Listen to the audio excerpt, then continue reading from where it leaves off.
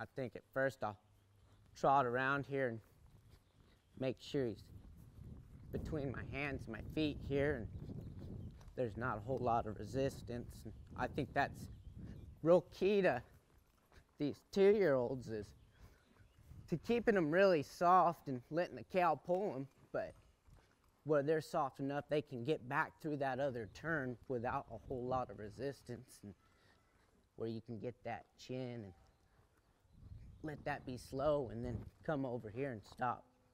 Get that chin there, see raised up a little bit there, slow down, get that chin and then draw it off over here, get get that hip moving around and be able to manipulate that body where it can help you and benefit you and what you need to do.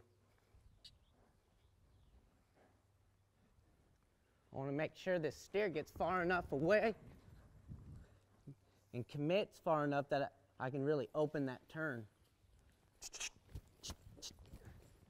Let that this steer get away. That way that's a clean turn right there. Hold him right here with this left foot, soft, then go. Hold him here, then go. And that goes right back, I think, to what I was talking about earlier about wanting that pull to come.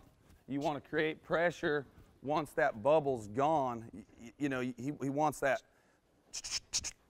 He wants to get up in that space right there and then give release, but let the cow go far enough that he can create a little bit of pressure that comes from the cow.